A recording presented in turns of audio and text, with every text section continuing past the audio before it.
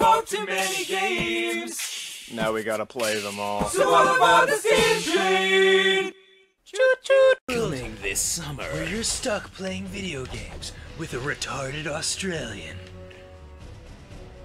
What? That was. I was referring to you. Was that not clear? I just feel that that was uncalled for.